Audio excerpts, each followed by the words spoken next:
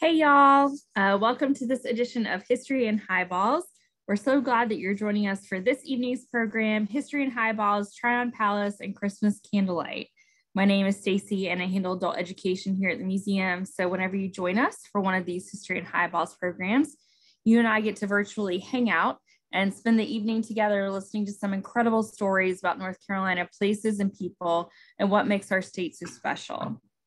Uh, if you enjoyed tonight's program, we invite you to head over to the museum's website, ncmuseumofhistory.org, where you can learn more about our upcoming programs, exhibits, and digital resources. Uh, this is also where you can learn more about joining our North Carolina Museum of History Associates. Our associates and foundation provide crucial funding and support to the museum, which in addition to many other things, helps make programming like this programming like this evening's program possible. Uh, we would like to thank all of you who donated funds towards this evening's program. We continue to do our best to keep our programs free to attend, but there are costs associated with keeping our series going. And we just continue to be so appreciative of your generous support of the museum and its programming. A few quick housekeeping items for this evening. We ask that you please keep your mics muted throughout the entirety of the program and to please type any questions that you have for a guest speaker into the chat function located at the bottom center of your screen. At the end of the program, our intern Bobby will ask our speaker as many of your questions as time allows. So it is my honor to introduce and welcome back this evening's speaker, uh, William J. McCrea, Bill McCrea. Uh, he was appointed executive director of Tryon Palace in January 2018, leaving his position as an associate director of the North Carolina Museum of History and director of regional museums. He joined the Museum of History and staff in 1999. Prior to that, he was head of architecture and restoration for the North Carolina State Historic Sites for 18 years. Bill served as the team leader for the Story of North Carolina exhibit, the museum's permanent exhibit on the history of the state encompassing 20,000 square feet and nearly 1,000 artifacts. Mr. McCrea did his undergraduate work at the University of Massachusetts Amherst and received a master's degree from the University of Virginia. He has been a director of a variety of boards and was a founding member of the Museum of City of the City of Raleigh, serving as a chairman of the board for eight years. He has published and spoken nationally on a variety of topics. Additionally, he has consulted with more than 25 museums throughout the Southeast on the care and protection of the artifact collection, of their artifact collection. Bill and his wife, Edie, have two grown sons, Brian and his wife, Liz, who live in Raleigh, and Dr. Reed McCrea and Emily McCrea, who live in Mount Pleasant, South Carolina. In his free time, Bill swims for a master's team and enjoys competing in statewide meets. Welcome, Bill. I'm going to turn it over to you. Thanks for being with us. Thank you, Stacy. Um, thank you for that introduction. Um, are you going to share my screen or do I do that? You can do that or I can do that. It's, it's up to you.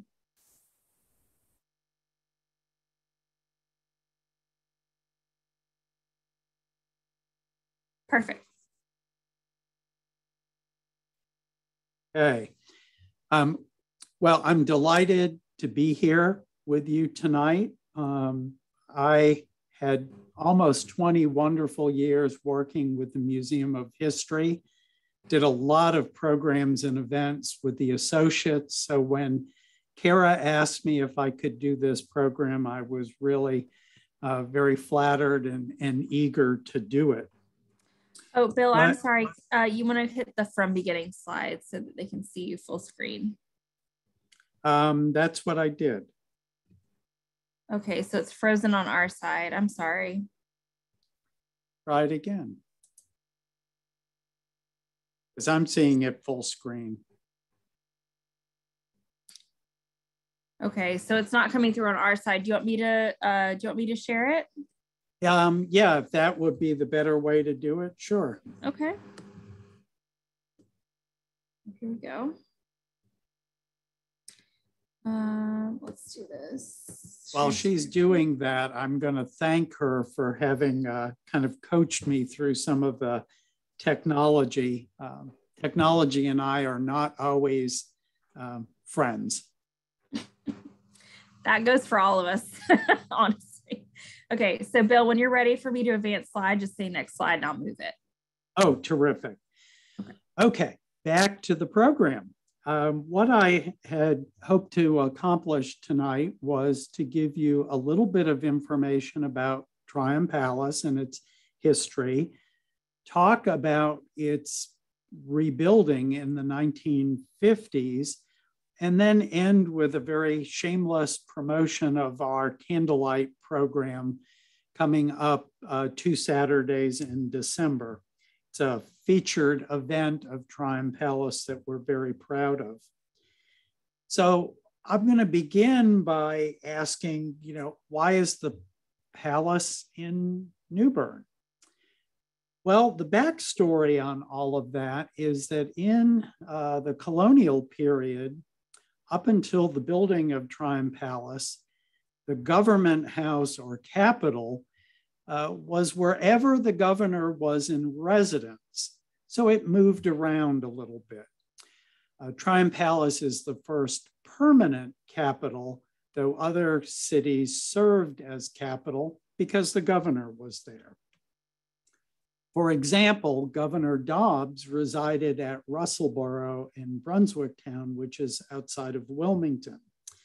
And he was succeeded by Governor Tryon, so when Tryon was appointed a royal governor by King George III, he was instructed to find a location and to build a permanent capital for the colony of North Carolina.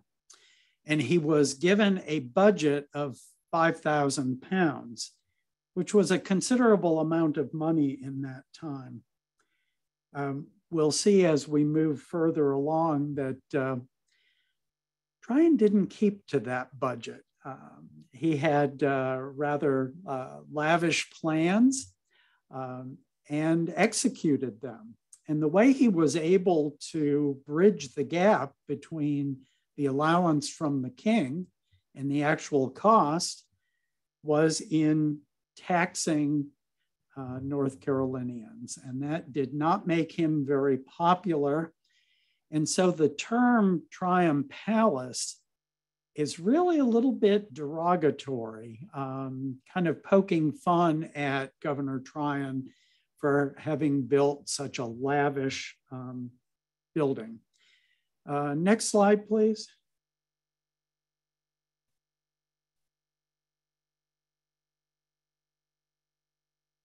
So let, let's get to um, Tryon Palace. Um, Governor Tryon selected New Bern as the location, uh, which I think was a very wise decision on his part. By the 1760s, New Bern was an up and coming and prosperous city, and it has tremendous water access even today with the Trent River and the Neuse River uh, bordering it. So there was access upstream and there was access to um, the Atlantic Ocean.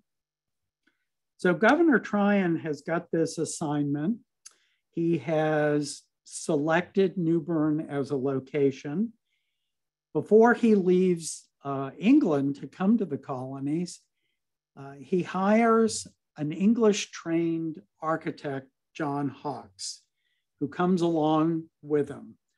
Um, Hawks was trained in the most uh, sophisticated uh, design of uh, the time.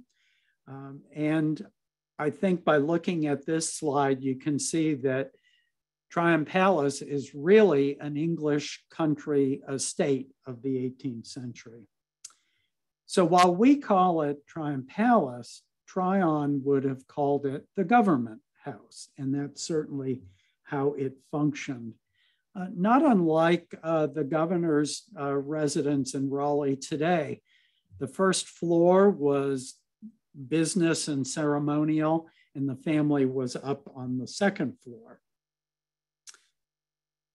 So it took about three years to build the palace from 1767 to 1770 and Tryon opened it to the public with a wonderful party in uh, December of 1770. At the time it was built, a number of commentators said it was the finest building in all of the colonies. I think you can see that it would certainly deserve close to that ranking, uh, but I bet our friends in Virginia and South Carolina might take some um, exception to that. So, how did a building of uh, this magnitude and this sophistication get built uh, in the colony of North Carolina in the 1760s? Well, without a doubt, it involved skilled African American artisans, both free and enslaved. I don't know of any major buildings of this time period in North Carolina that didn't have the handiwork of skilled African American tradesmen. But the detailing that John Hawks wanted in the palace was really very sophisticated. So carpenters were brought from Philadelphia to work on the palace. Several of them actually stayed in New Bern after the palace was completed. Now, if you'll remember back in the 18th century, Philadelphia was the largest city in the colonies. And it had a very sophisticated architectural tradition. So it's logical that they would have brought craftsmen um, down. Let's go ahead to the next slide.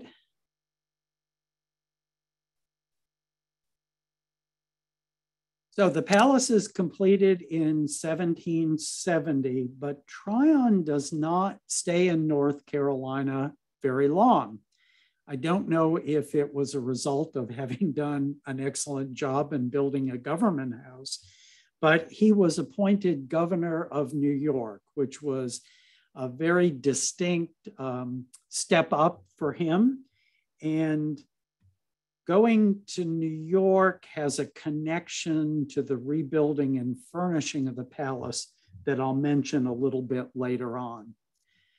Following Governor Tryon uh, was Josiah Collins, who lived here with his family from 1771 until he saw the handwriting on the wall in 1775. And he and his family kind of disappeared in the dark of night. Um, I think he, uh, he probably said to people, Oh, I'll be right back. Uh, but uh, he left the colonies, returned to England, and I can imagine if I were in his position with a family, um, I might well do the very same thing. So, you all know what started happening in 1776. So, what became of Tryon Palace during that period?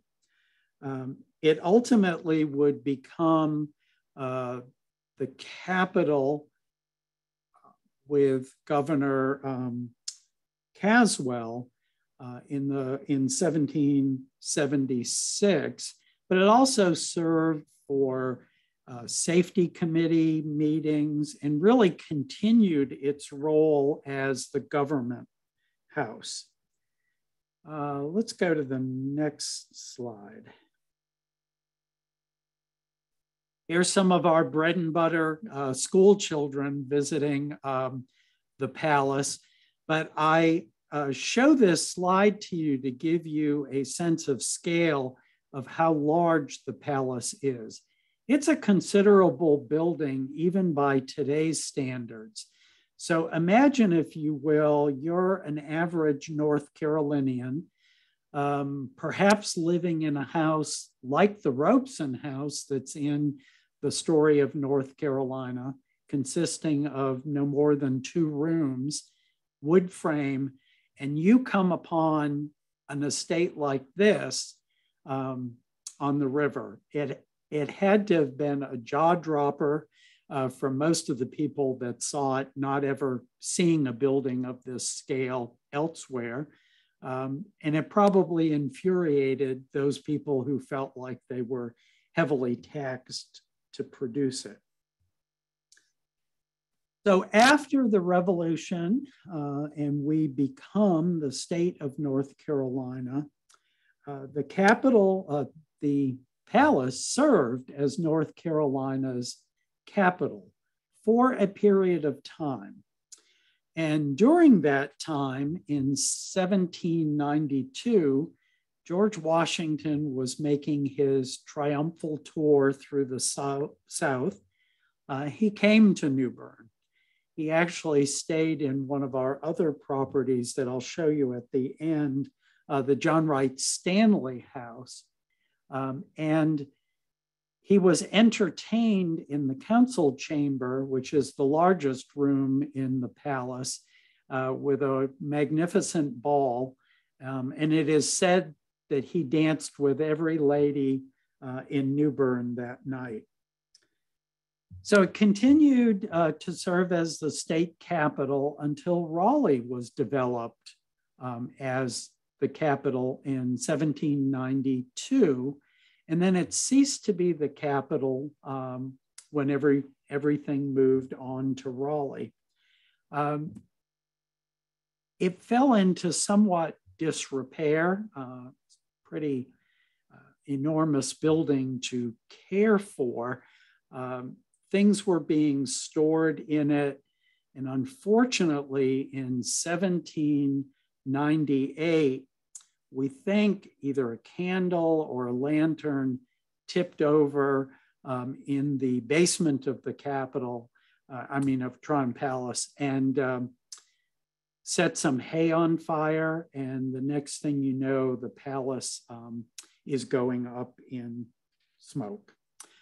So the fire destroyed the palace proper, um, as well as doing a lot of damage to the kitchen building, uh, which was later actually pulled down by New Bernians who wanted to salvage some of the brick. But the structure that you see these kids walking into is the stable, and that's the only structure uh, that survived the fire.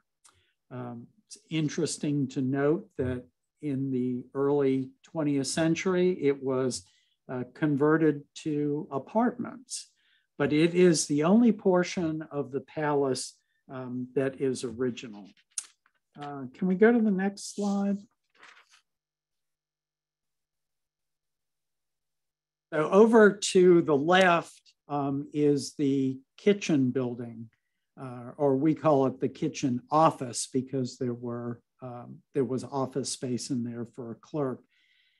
It alone is an impressive building for the 18th century, but when you look at it as an entire complex um, in the Palladian style of having a center building, two flanking buildings, and a connection with a colonnade, um, it's really uh, a remarkable structure. Can I have the next slide, please?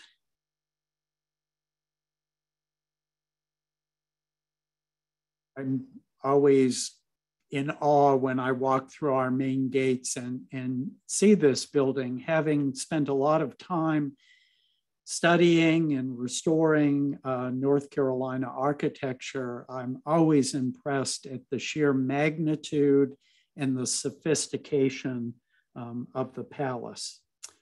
Could we go to the next slide, please? Okay, I mentioned already that um, the palace burned down, um, but it was rebuilt. And it was rebuilt by three women, principally by three women who were very dedicated to restoring Tryon Palace as North Carolina's first permanent capital. Mrs. Latham, Mrs. Kellenberger, and Mrs. Cannon were among the leaders statewide that came forth to rebuild the palace. And they were aided uh, locally by a number of people, including Gertrude Carraway, who would ultimately become the first director of Tryon Palace.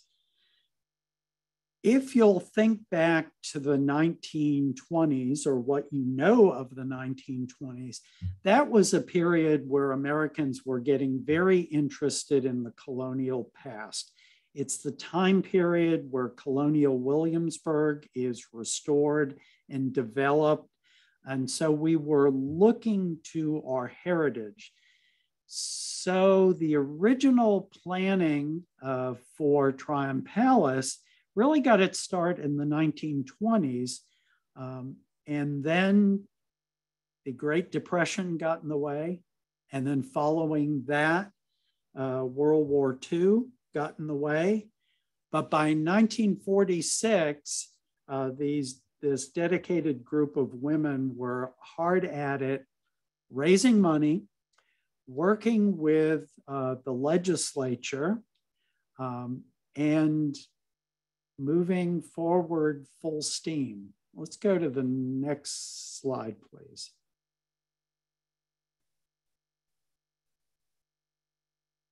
So here's a picture of the uh, palace under construction. Uh, there are some people who think the rebuilding of the palace is as interesting or more interesting a story uh, than its building in the 18th century. And I think there's some merit to that. Uh, by the time they started um, building the palace, uh, George Street had already been cut through the property. And will you go to the next slide? There were, if you look in behind the colonnades, you can see that there are residents there. Uh, not only did George Street have to be removed, but all of the housing on the property um, had to either be relocated or demolished to form the grounds that were original to the palace. And what you can't see in this photograph is that directly behind the palace was the bridge over the Trent River. Uh, so these this dedicated group of women not only rebuilt the palace, got the state to buy the property, move the buildings, but they also got them to demolish a perfectly good bridge and build it elsewhere. Uh, most of us believe that that couldn't possibly happen today, but we're grateful for their efforts, and uh, we've recently celebrated our 60th anniversary of being open. Um, so the palace opened to the public in uh, 1959. If I could have the next slide.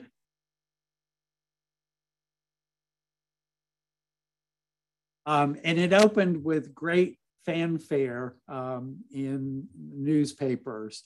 Um, these are some images of uh, the articles that were in the Raleigh News and Observer when the palace opened.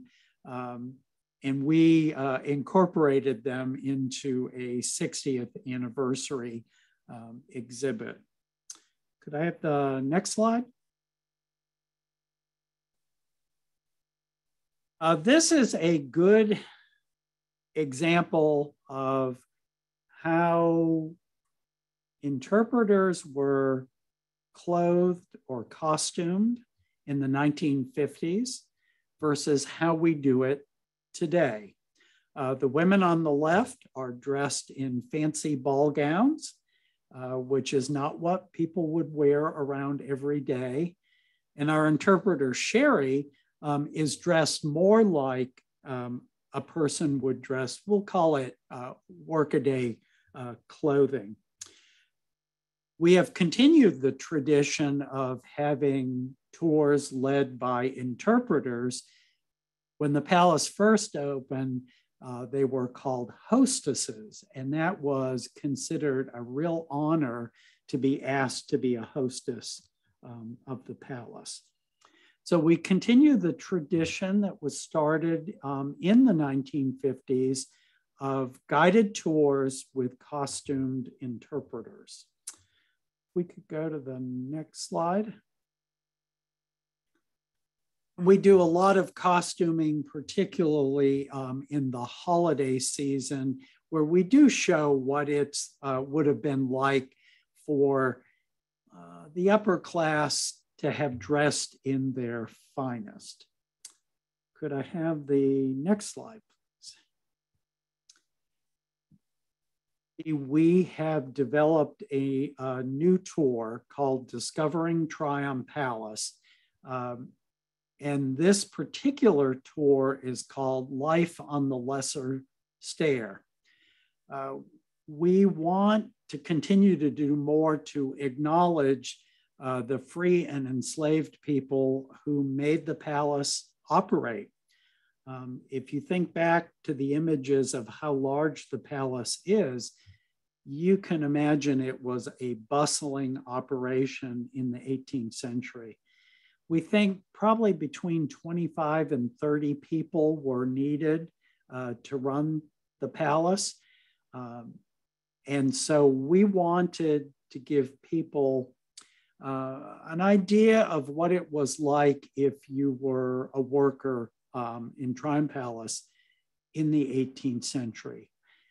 If you would think for a minute about Downton Abbey, completely different time period, but it depicts the kind of activity um, in the basement level um, of all that's going on to run a large house of that sort. And that's exactly what would have been going on in Tryon Palace in the 18th century. I wish we had 25 or 30 people that we could um, use to give that sense of activity in the building, but uh, we don't. So we are uh, developing new tours uh, for a number of reasons to give people more options, uh, to explore subjects that we can't cover during the regular tour, uh, and to offer something new to New Bernians who may have been to the palace multiple times. Um, may I have the next slide? we do a lot of work in the kitchen, both with open hearth cooking, as well as talking about the kitchen as the apothecary and the place where medicines in the 18th century uh, framework of it uh, were dis, uh, dispensed. Um, this is a great way with a display like this and visitors coming by, by, where you can engage them in things that they know about and things that they don't know about in terms of um, the healing arts. Could I have the next slide? I put this one in here not because of the beautiful Christmas decorations, which of course are not really 18th century. They are very much colonial revival. Um, but I wanted to show you the magnificent stair in the palace. It is all mahogany, um, hand carved, and it is cantilevered so that one stair uh, supports the next one. This one feature of the palace costs nearly half of the entire budget for the palace. Um, so glad we have it. Uh, so glad John Hawks designed it, uh, but it is uh, a very costly uh, feature. Could I have the next slide? Um, give you an example of the furnished rooms in the palace should you come to tour. And I certainly hope you will. I've only given you a very small taste of the broader history of Tryon Palace and New Bern. I'm not a trained uh, tour guide, so um, these the section of the slide to the lower right uh, depicts Governor Tryon's bedroom and the clothing he would have worn day to day. Could I have the next slide, please?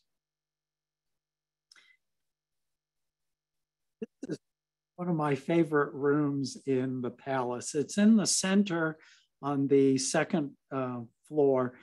It's called the alcove bedchamber, and you can see for good reason why it's called that.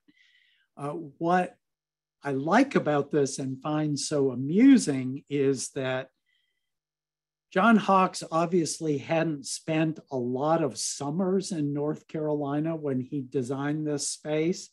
Um, imagine being in an enclosed area like that um, in July in North Carolina. Uh, this was not a very popular uh, bedroom uh, because it was just uh, so uncomfortable. But it certainly looks beautiful and gives us an opportunity to talk about how rooms could be laid out. And you'll see the open door is actually a closet, uh, which is a pretty rare commodity in the 18th century. I could have the next slide. We have a number of interpretive groups at Tryon Palace. Um, depicted here is our Junkanoo troupe. Junkanoo was an African American tradition only in a few areas of the South, but uh, was uh, practiced in New Bern. It was a celebration the day after Christmas where plantation owners would allow the enslaved population a day to celebrate, play music, dance, bring back traditions that had persisted um, from Africa. So we um, take the Junkanoo troupe out to schools and to events to help talk about um, continuity of uh, traditions within the African American enslaved community. If I could have the next slide. Interpretive group that we have is the 35th United States Colored Troops. Uh, New Bern was occupied very early, uh, six, uh, 1863 by Union forces and became a kind of mecca or hub for um, enslaved people uh, to gather.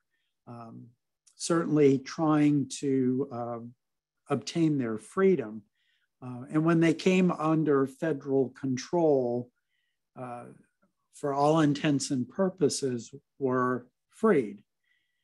Many of the men wanted to fight for the Union side, um, and a number of colored troops across all of the United States um,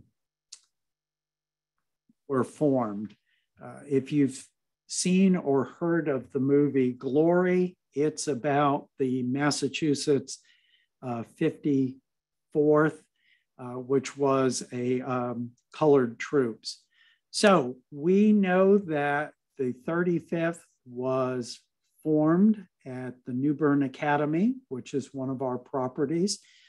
And we have created an interpretive group and have an amazing array of, of men who have learned the history of the men who served in the 35th. But what is particularly interesting is a number of the men who are in our reenactment group are descendants of men who served in the 35th. If I could have the next slide. I love our uh, young drummer boy. Um, and there's nothing like the sound of drums to get uh, people uh, animated. Could I have the next slide? And speaking of drums, we also have a fife and drum corps. Um, if you come to Candlelight, uh, they lead the procession in. Um, We've got more drummers than we do fifers. So if any of you know somebody who would be a good candidate to be one of our fifers, would love to have them join us. Uh, we're getting excited about the United States 250th anniversary, where we can feature not only our fife and drum corps, uh, but we have another interpretive group, uh, the Continental Line. So we've got going to have an awful lot to offer for the US 250th. I could have the next slide. So now we get to my uh, shameless promotion. Um, December 11th, Saturday, December 18th, a Saturday, um, is our candlelight program. It begins at 4.30.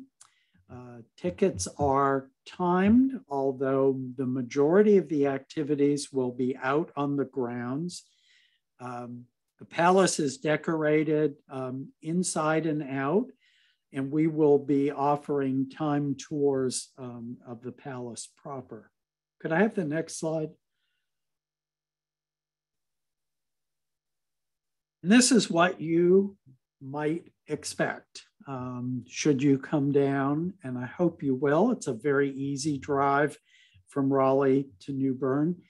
Um, in addition to the tours, you would go to the next slide. Oh, I got jumped ahead of myself.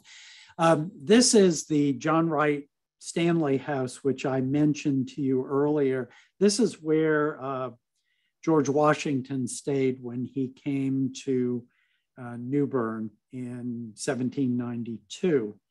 Uh, what will we will be offering this year is a walkthrough um, of this very important 18th century house. And if I could have the next slide. As well as the Dixon House, which dates uh, to the 1830s, gives you a feeling for prosperous people's home during that time period. So if we could go to the next slide. In addition to the tours and to an area where uh, beer and wine can be purchased and an area where hot cocoa um, and snacks can be purchased, uh, we have a tent where we will have entertainers, including sword swallower, jugglers, and here um, a fire eater. I've seen this done at several candlelights, and I can't quite figure out how they do it, but they must be successful because they continue to come back uh, year after year. I'll have my two and a half year old granddaughter here for the first day of candlelight, and I'm going to be curious as to her reaction to the entertainment. Uh, if I could have the next slide. Our Junkanoo troupe performs several times um, in the evening right outside uh, the palace gates so that you get a sense of what that ceremony was like um, and what the music was like, what the dancing was like uh, for enslaved people who were given a little bit of latitude on Boxing Day, the day after Christmas. If I could have the next slide. Normally we have dancing in the council chamber. Uh, because of COVID and vaccine requirements, we are a little down on uh, the number of dancers. So we will be depicting uh, this space as if a dance has just concluded. We'll have harpsichord music um, and people dress similar to the way you see them here. If I could have the next slide. This is what the palace looks like for um, candlelight. While it is not an accurate facsimile of uh, lighting in the 18th century, it definitely gives you a sense that um, evening events were much lower light than we are used to today. The palace looks absolutely beautiful with the candles in the window. Um, they are electric candles, so we're not going to uh, create a second fire. Um, and then we have candles in holders all across the grounds. If I could have the next slide, which is the last slide. Um, our candlelight program begins at 4.30 and it ends at 9.30 with a black powder display of fireworks that are absolutely spectacular. Uh, my wife's not a big fireworks fan, and she keeps saying, Oh, I can't wait to see them again this year. They are amazing. So I hope that you will consider coming to Tryon Palace either for a regular tour. Uh, we offer tours of the decorations called decor tours several times in uh, November and December. Uh, then candlelight is two days um, in December, the 11th um, and the 18th. I think regardless of when you come, uh, you'll have a wonderful experience at the palace and you'll find that New Bern is a great place to visit. Lots of wonderful restaurants and shops in a very vibrant downtown. So I hope I might see some of you um, at candlelight, and I'll be happy to do my best to answer some questions.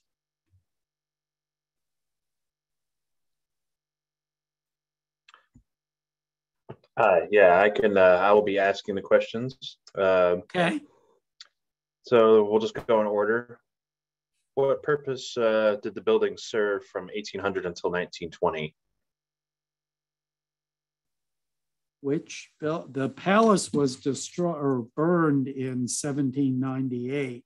So the palace was not there during that time period. After the palace burned, George Street was cut through to the water and lots were sold. Uh, is we have two questions about the staircase actually. Was yeah. it expensive when it was originally built in the 18th century? And is it based on an original design or is it a totally new design? Uh, no, um, it is uh, based on the original drawings by John Hawks, which survived in the British Museum and I should have said that at the beginning. The palace is a very accurate reconstruction because we had the original drawings. So it is based on uh, Hawks's drawings, and yes, it was phenomenally expensive. Uh, are the floors made of pine? Is a question. They are. They're heart pine except for the entry hall, which um, is marble. And we know that to be the case, not only from the drawings, but also from archaeology that was done in the 1950s and, and found uh, the fragments of marble.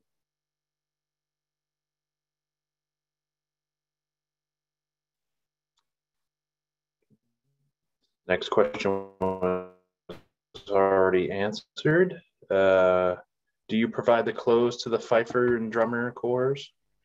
We do. provide, we provide the clothing. We provide all of the. Uh, we refer to them as costumes, but uh, we provide all of the clothing for our interpretive groups and all their accessories, um, and all of our interpreters uh, get dressed by um, our costumer um, and if things rip, she mends them. And uh, so, yes, we, we provide all of that. And we're able to do that because we have uh, the Tryon Palace Foundation, very similar to the Associates and the Museum of History Foundation, um, that provides uh, very generous support to us.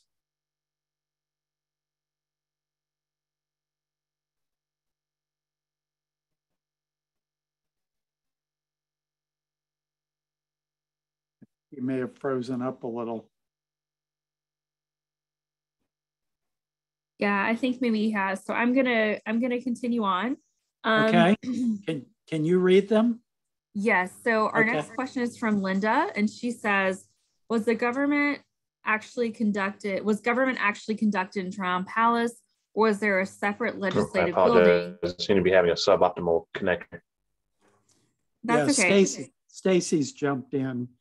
Um, so, so, the question um, was: Was uh, the government actually functioning in Tryon Palace? And the answer is yes.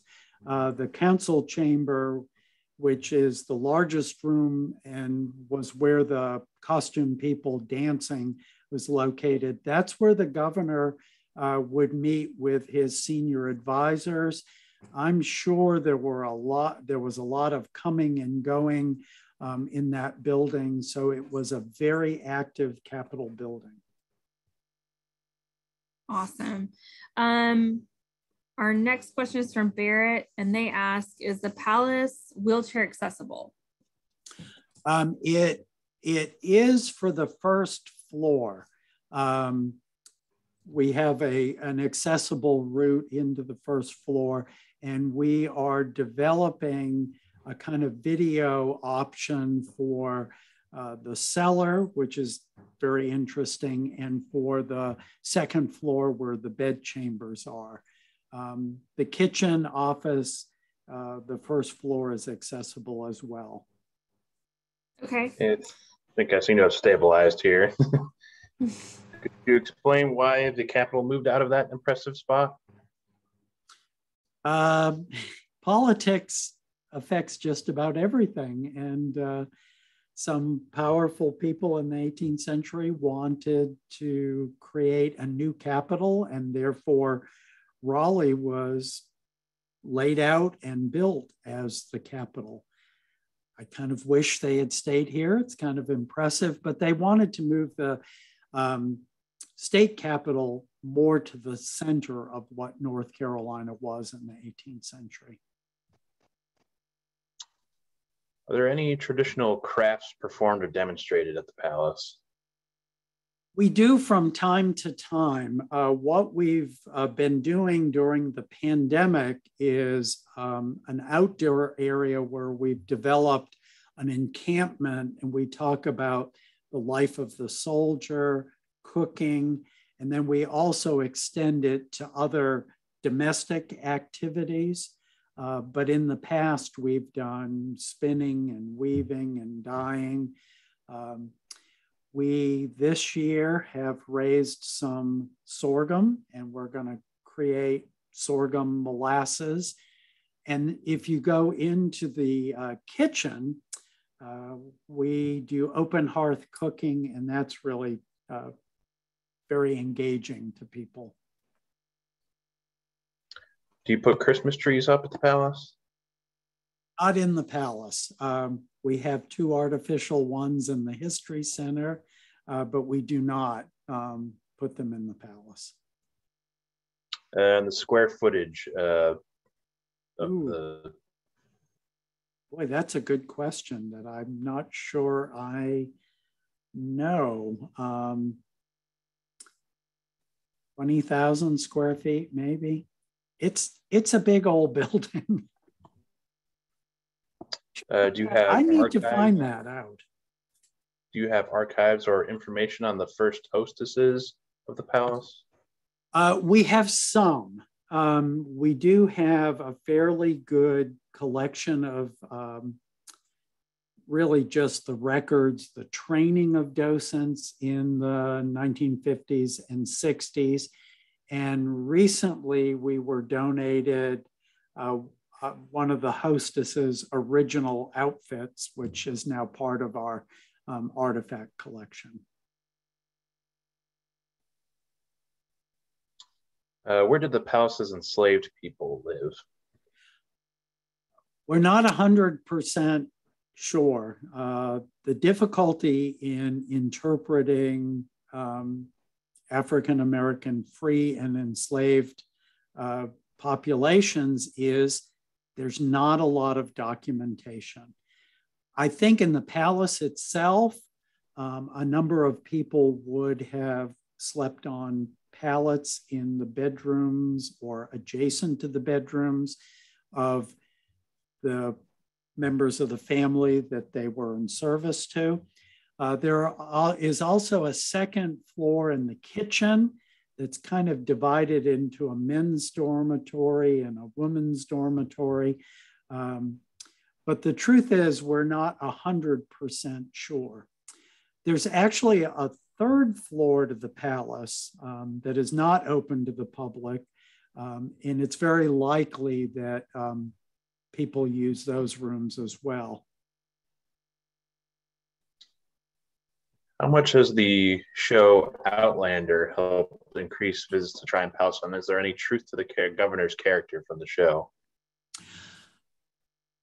Um, yes, yes, yes. Um, Diana Gabaldon, who wrote uh, the Outlander series, um, has visited Tryon Palace a number of times. Um, a few liberties, of course, are taken, but it's a reasonably uh, accurate portrayal of Governor Tryon. And yes, the series has brought a lot of interest. We actually do um, a specific Outlander tour once a month, and it usually sells out the minute the tickets go um, out for sale. We have a question about uh, general funding. I suppose how does the how does the palace keep running? Where do we get our money? I guess so, yeah. um, about half of our funding is from a state appropriation. The other half comes from the Tryon Palace Commission, Tryon Palace Foundation, um, or any grants that we might receive. We also do a lot of rentals, and that provides income. So about 50% of our operating cost is in non-state money. We also have an incredible pool of volunteers. At one point pre-pandemic, it was close to a thousand volunteers. That doesn't mean we had a thousand people here at any one time, but um, people that would volunteer to do very specific uh, tours. So our overall operation is about a $5 million operation. Um, the funds for ticketing go into a special fund that is used to pay maintenance salaries and maintain the buildings. Did the brick wall and house survive? I'm assuming they mean the fire a small portion of the foundation of the palace did survive, and you can see that on tour. Uh, the, the kitchen office was completely lost. People tore it down to get the bricks and anything that they could salvage. Uh, the stable um, did survive, although it, over its period of years before the restoration, a lot of work was done to it. Uh, we have a request to discuss the gardens at the palace. Oh, okay. We have 14 acres of gardens. Um, again, very much in the colonial revival style. Um, they're beautiful any time of the year, but I encourage people to come in the spring when the tulips are blooming. But my favorite garden is the kitchen garden, directly behind the kitchen office, um, where we raise a variety of crops and then use them in the kitchen for cooking demonstrations. The grounds are beautiful. Uh, what was the population size in 1760 and what was the main source of commerce? I don't know the population size, but it remember most cities in North Carolina at that time were very small. Even today, New Bern is only about 30,000 people.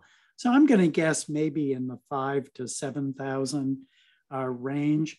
And there were a variety of things going on um, uh, fishing, uh, timber harvesting, uh, crops raised on property outside of the city, was kind of a mercantile center. So it was commerce, I guess, would be uh, the best word to describe it. Uh, there's a question about the crest above the entryway to the house yep. and if it has any significance. It does. It is the crest of um, George III. Um, and in French, it says, um, My right by God, um, which underscores how the British monarchy felt that they were in position um, because of God's will.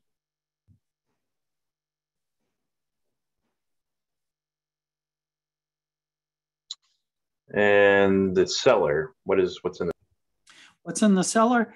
Um, pretty interesting. That's where the um, head butler and the head um, household, I forgot her name, had uh, their their quarters. But what's most interesting is that's where a lot of the um, rare and expensive things were stored, like wine and other adult beverages, but more particularly spices. Um, and so even the cook had to come over and get the spices from the cellar of the palace in order to, to uh, prepare meals. Do you have any American Sign Language interpreters? Uh, we don't, but with enough advance warning, we can um, uh, schedule someone. We do have a number of people on staff who do some signing, um, and whether or not that would be sufficient, um, I'm not positive. Uh, were there any trials held at the palace, or was that set aside an area set aside for legal proceedings, maybe? Not that I'm aware of. It was, you know, think of it more as the legislative and executive branch, and judicial would have been um, handled in the courthouse. And I guess this will have to be our last question. Are there any burials at the palace? Are there any burials? Was that the question?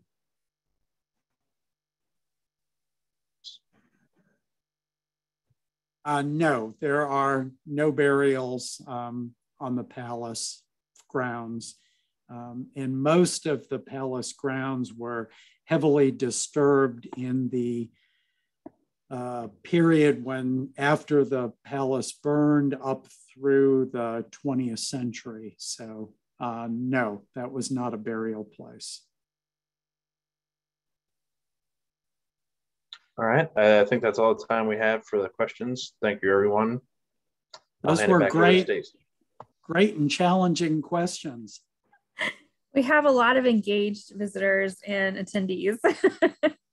um, thank you, Bill, so much for this wonderful virtual trip to Tryon Palace and a beautiful way to kick off the holiday season. We appreciate you taking the time to be with us. I'm very happy to have been asked to do this. And uh, if any of the people listening in come to Candlelight or come to tour, please identify yourself. I'd like to thank you personally for, for coming down. Thank you. And thank you to all those of us, or all those of you who joined us this evening. Um, we hope to see you at our next History and Highballs, celebrating a Victorian Christmas with Körner's Folly. That's happening Thursday, December 9th uh, this year at 7 p.m. via Zoom. We hope that all of you had a wonderful evening and we will see you soon. Thank you, everybody. Take care. Thank you.